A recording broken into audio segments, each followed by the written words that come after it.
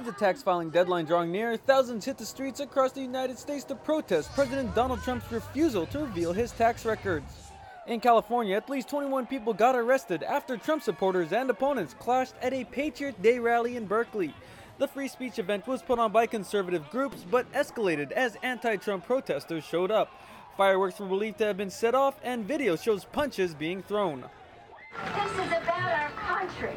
It's about our national security. A more peaceful scene in downtown San Francisco. Elected officials joined thousands in San Francisco City Hall before hitting the streets of the financial district, calling for Trump to release his taxes, which every president has done since the 1970s.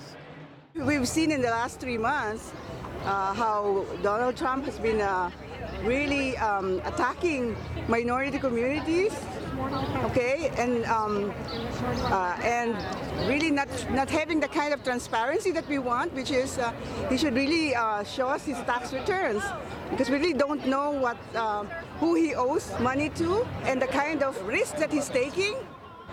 While it's still unknown about President Donald Trump's tax history, taxpayers say they are angered by what they believe their tax dollars have been paying for.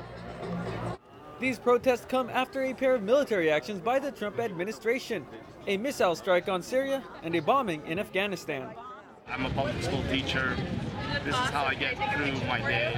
This is, I'm out here in support everybody else, and I don't believe he should get away with what he's doing. We just dropped a $16 million wall on the other day, and he just funded Planned Parenthood. Ridiculous. I don't believe my money should go there. I'd rather have it go into building the infrastructure in the communities that we live in. They believe a peek into the president's tax returns could actually give people a better idea of the motivation behind some of Trump's actions. This guy is, is getting us to the into the brink of a war, uh, wars actually, without us knowing exactly what's what what's behind all that. You know, maybe he's just covering up all the um, controversies that are happening right now, such as his links with the Russians. Los Angeles saw an estimated 10,000 hitting the streets for a peaceful protest.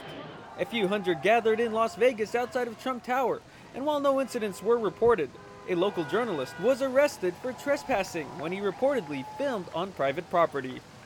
Steve Angeles, ABS CBN News, San Francisco.